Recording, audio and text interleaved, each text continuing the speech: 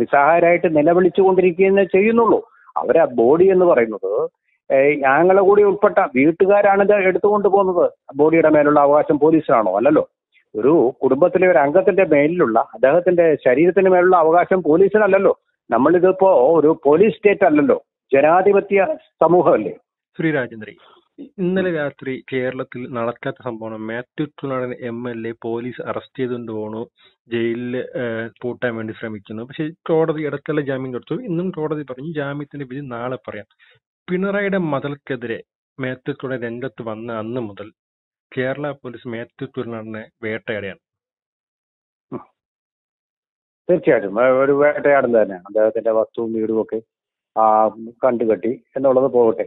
ഇപ്പോ വീണ്ടും അദ്ദേഹം ഒരു ജനനായകനാണ് ആ തീർച്ചയായിട്ടും ജനകീയ പ്രശ്നങ്ങളിൽ ഏർപ്പെടേണ്ട ആളാണ് ഒരു എം എൽ എ എന്ന് പറയുന്നത്. തീർച്ചയായും ശരിയാണ് ആ ഇൻക്വസ്റ്റ് ചെയ്യാൻ വെച്ചിരുന്ന ബോഡിയാണ് എടുത്തു കൊണ്ടുപോകുന്നത്. പക്ഷെ ജനങ്ങളുടെ ഒരു പ്രതിഷേധമാണ് ജനങ്ങളുടെ കേരളത്തിൽ ഇതിനു മുമ്പ് കേരളത്തിൽ പലരും ഈ മൃതദേഹം അതായത് മരിച്ചയാളുടെ ശരീരം വെച്ച് റോഡിൽ സമരം നടത്തിയിട്ടുണ്ട്. ആദ്യമായിട്ട് അല്ല ചിലപ്പോ ഈ അനീതി തുടരുമ്പോൾ നീതി ചെയ്യേണ്ടവർ നീതി നൽകാതെ വരുമ്പോൾ ജനങ്ങൾക്ക് പലപ്പോഴും ഇങ്ങനെ നിയമവിരുദ്ധമായിട്ട് തന്നെ പ്രതിഷേധിക്കേണ്ട അവസരങ്ങൾ വരും. എല്ലാം ഇപ്പൊ നിയമം അനുസരിച്ചൊന്നും അല്ലല്ലോ സി പി എമ്മും പ്രതിഷേധങ്ങൾ നടത്തുന്നു ഗവർണർക്കെതിരെയുള്ള സഞ്ചാര സ്വാതന്ത്ര്യം തടഞ്ഞുകൊണ്ട് എസ് എഫ് ഐ നടത്തുന്ന പ്രതിഷേധം തന്നെ നിയമപരമായിട്ടുള്ളതാണ്. ഒരു സ്റ്റേറ്റിന്റെ ചീഫ് ആയിട്ടുള്ള ഗവൺമെന്റിന്റെ ഹെഡായിട്ടുള്ള ഒരാളിനെ തടയുക എന്ന് പറയുന്നത്. സഞ്ചാര സ്വാതന്ത്ര്യം ഹനിക്കുക എന്ന് പറയുന്നത് തന്നെ ശരിയല്ല. അത് ഒരു സ്റ്റേറ്റിന്റെ ഏറ്റവും ഉയർന്ന അധികാരിയോടാവുമ്പോൾ അത് പോലീസ് കുറ്റകരം. പോലീസ് കോടതിയിൽ പറയുന്ന വെച്ചാൽ ഹോസ്പിറ്റലിൽ കയറി അക്രമം നടത്തി ബോഡി തട്ടിയെടുത്തു. പക്ഷെ തുണൻ പറഞ്ഞ വെച്ചാൽ വീട്ടുകാരെ സമ്മതത്തോടെ സമരം നടത്തിയത്. അതെ അതിൽ വീട്ടുകാരും ഒപ്പം ഉണ്ടായിരുന്നു. അല്ല മേത്തൂർക്കുള്ളാണ്ട് കൂടെ ഡി സി സി അധ്യക്ഷനെ ചായക്കടലിൽ ചായ ഒഴിക്കാൻ പോയ ആളെ ഒരു കള്ളനെ പിടിച്ചുകൊണ്ടുള്ള ശരീരം മൊത്തം പൂട്ടിയിട്ടിട്ട് ലോക്ക് ചെയ്ത്. വലിച്ചടിച്ച ജീപ്പിൽ ചേരുന്ന വിഷ്വൽസ് പുറത്തു വന്നത്. എന്ന് മാത്രമല്ല ഈ മരിച്ച ഇന്ദിരയുടെ സഹോദരനെ തന്നെ അവരുടെ അദ്ദേഹത്തിന്റെ ഷർട്ടും വലിച്ചു കയറി അദ്ദേഹം കരയുകയായിരുന്നു നിലവിളിക്കുകയായിരുന്നു നിസ്സഹായനായിട്ട്.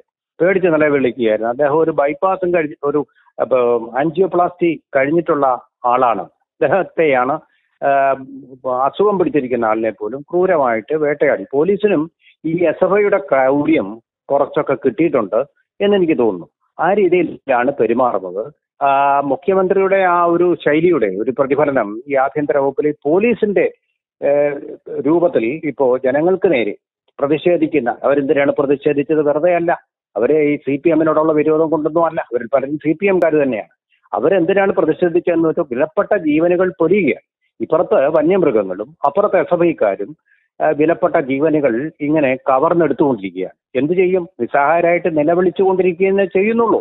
അവരെ ബോഡി എന്ന് പറയുന്നത് ഞങ്ങളെ കൂടി ഉൾപ്പെട്ട വീട്ടുകാരാണ് ഇത് എടുത്തുകൊണ്ട് പോകുന്നത്. ബോഡിയുടെ മേലുള്ള അവകാശം പോലീസിനാണോ? അല്ലല്ലോ.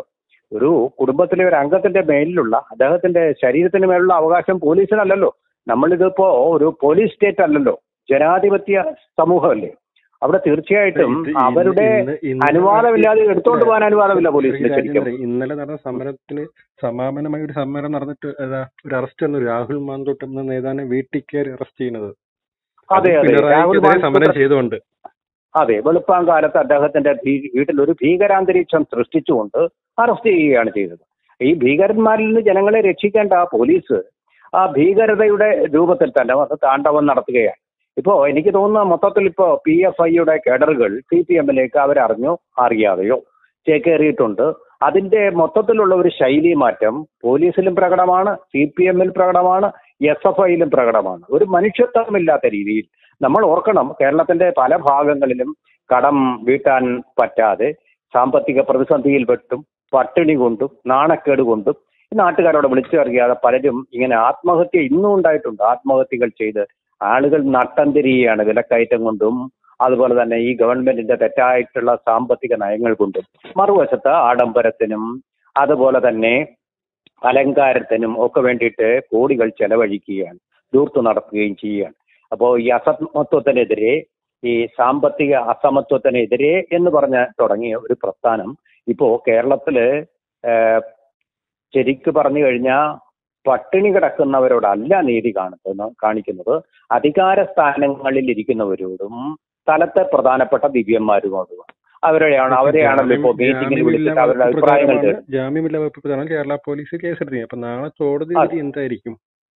ആ ജാമ്യമില്ലാ വകുപ്പ് പ്രകാരം കേസെടുത്തതിന്റെ കാരണം എന്ന് പറഞ്ഞാൽ നിയമപരമായ ഒരു വശമുണ്ട്. അതിനകത്ത് ഒരു നിയമലംഘനം നടത്തുന്നു. ഞാൻ നേരത്തെ പറഞ്ഞ പോലെ ഇൻകസ്റ്റിൽ വെച്ചിരുന്ന ബോഡി അതായത് ഇപ്പോൾ പോലീസിന്റെ കസ്റ്റഡിയിലുള്ള ബോഡി എന്നാണ് അതിന്റെ അർത്ഥം. ആ ബോഡിയാണ് എടുത്തുകൊണ്ട് പോകുന്നത്. അതായത് ഒരു പൊതു പൊതു പൊതു മുതൽ എന്ന് പറയുന്നത് പോലെ പോലീസിന്റെ പരിധിയിൽ അല്ലെങ്കിൽ പോലീസ് സ്റ്റേഷനിൽ കയറി സാധനങ്ങൾ ഇപ്പൊ തോക്കായാലും മറ്റെന്തായാലും എടുക്കുക എന്ന് പറയുന്നത് അതിലെ ഒരു നിയമവിരുദ്ധതയും നമ്മുടെ ചട്ടപ്രകാരം നമ്മുടെ ചട്ടപ്രകാരം. പക്ഷെ ഇതിന് മറുവശത്തൊരു മനുഷ്യ വശം കൂടിയുണ്ട്. ആളുകളെ ഇങ്ങനെ കൊല്ലുകയാണ്. പ്രായമായ സ്ത്രീയെ മറ്റും ആനെ കൊല്ലുകയാണ്. ഇതിന് വ്യക്തമായിട്ടുള്ള നിയമങ്ങളുണ്ട്. ഇങ്ങനെയുള്ള വന്യ ക്രൂര മൃഗങ്ങളെ കൊല്ലാൻ ഉള്ള അധികാരം വൈ ചീഫ് വൈൽഡ് ലൈഫ് വാർഡനുണ്ട്. അതുപോലെ ഈ അത് കൊല്ലാൻ വേണ്ടിയിട്ടും പരിരക്ഷ നൽകാൻ വേണ്ടിയിട്ടുള്ള ഫണ്ട് കറക്റ്റായിട്ട് കേന്ദ്രം കൊടുക്കുന്നുണ്ടെന്ന് കഴിഞ്ഞ പ്രാവശ്യം ഇവിടെ സന്ദർശിച്ച കേന്ദ്ര വനം മന്ത്രി തന്നെ പറഞ്ഞിട്ടുണ്ട്. ഇതൊന്നും വേണ്ട പോലെ ഉപയോഗിക്കുക. അതൊരു മന്ത്രിയുണ്ട് എ കെ ശശീന്ദ്രൻ. ഞങ്ങളിപ്പോൾ മീറ്റിംഗ് കൂടും മീറ്റിംഗ് കൂടുമെന്ന് സ്ഥിരമായിട്ടുള്ള ഒരു പല്ലവിയും പറഞ്ഞുകൊണ്ടിരിക്കുകയാണ്. സ്റ്റേണായിട്ടൊരു ആക്ഷൻ എടുക്കാനുള്ള ഒരു കഴിവ് ചുമ്മാതെ ഈ ക്ലീഷേ തന്നെ വീണ്ടും വീണ്ടും പറഞ്ഞുകൊണ്ടു ആവർത്തിച്ചുകൊണ്ടിരിക്കുക. പിടിപ്പുകെട്ട മന്ത്രിമാരുടെ പിടിയിൽപ്പെട്ട കേരളം ഇന്നൊരു ദുരന്ത വലയത്തിലാണെന്നുള്ളതാണ് സത്യം. ശ്രീ ശ്രീരാജേന്ദ്രൻ രാഹുൽ മാന്ദ്രത്തിന് പോലെ മേത്തുത്വൽ നടൻ എം എൽ എക്കും നാളെ ജയിലിൽ പോകാമോ എന്ന് കോടതി വിധി വരുമ്പോൾ കണ്ടറിയാം. നന്ദി ശ്രീരാജേന്ദ്രൻ. കാണാം.